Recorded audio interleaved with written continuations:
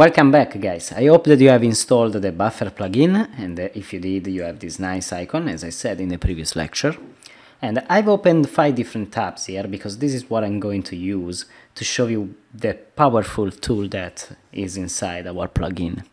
I can guarantee you that you'll be 10 times faster if you use the plugin and you won't really need to go into the buffer account that much because 99% of the things you'll have to do can be done through the plugin and also it will be much much quicker. In this lecture we'll try to use the plugin to do a few different things.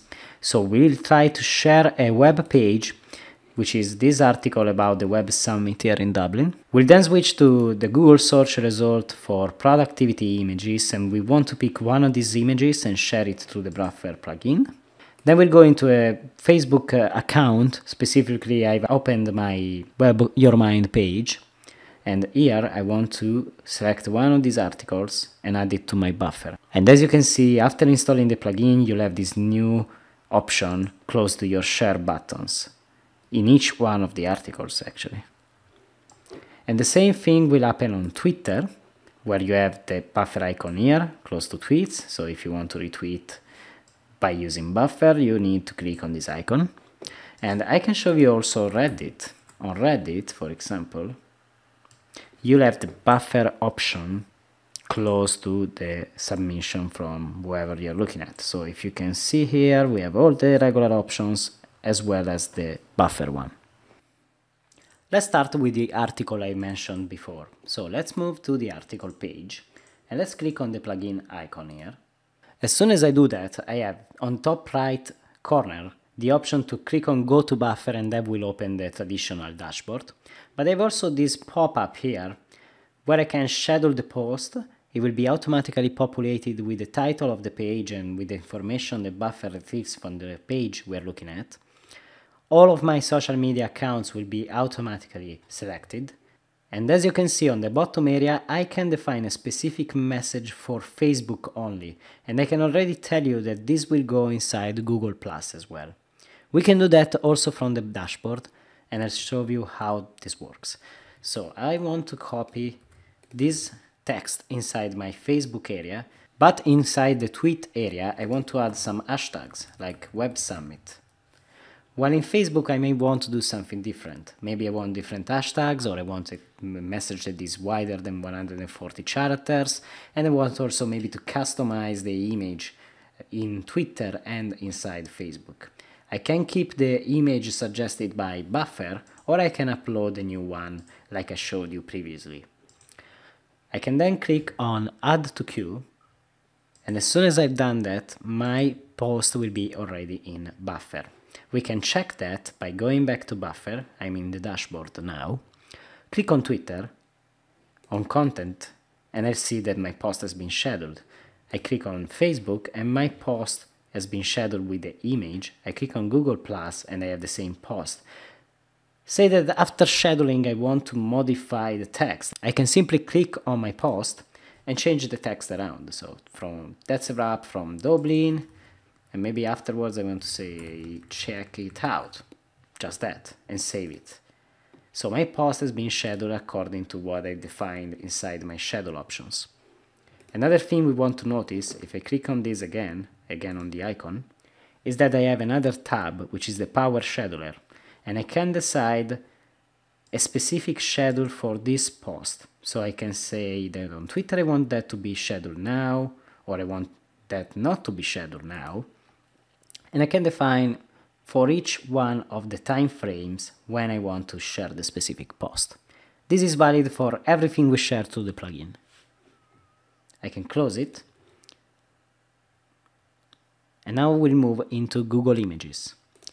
Inside Google Images, if I open any of these images you're seeing, and this is valid for any image on the web. Let's open the second one, for example. If I hover on the image with my mouse, there's the share image button on the bottom right corner of the image. If I click that, as you can see, my composer will be opened again. I can share the image and I can again define how it should look like based on the social media where I want to post. I'm not going to do that. I don't want to share this productivity image with my followers. But just keep in mind that if you need a specific image and you want to share it quickly, you can use that option. Moving now to Facebook, let's say that I find a nice uh, post from someone on Facebook like this one that I, I have posted, so well, I think I like it.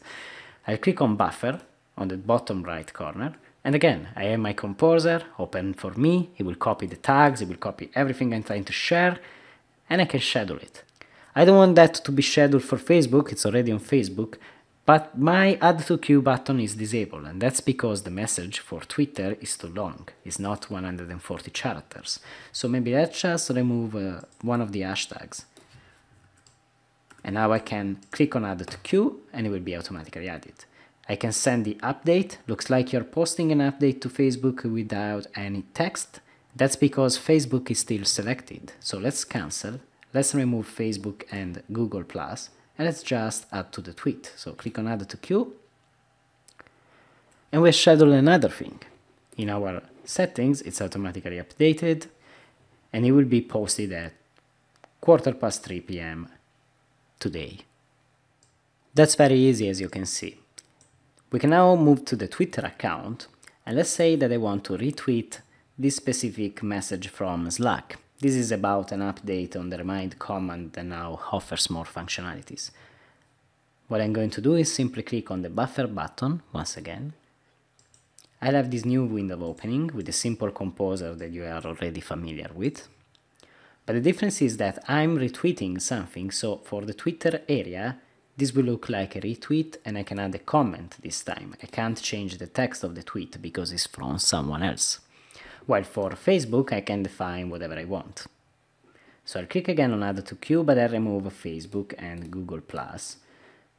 I want to keep it like that. I don't want to add any additional information and I click on add to queue again. And in my buffer, Slack will be the third item to be published on Facebook, I don't have anything related to Slack. On Google Plus, I don't have anything related to Slack. Well, you can easily imagine that if I go to Reddit and I click on buffer on one of the Reddits, for example, on this specific post, I can click on buffer. Again, I have my simple composer and the power scheduler if I want to modify something. And I can define whatever I want. So I'm not going to do that for Reddit, I'll just close it, but trust me, it will work the same way.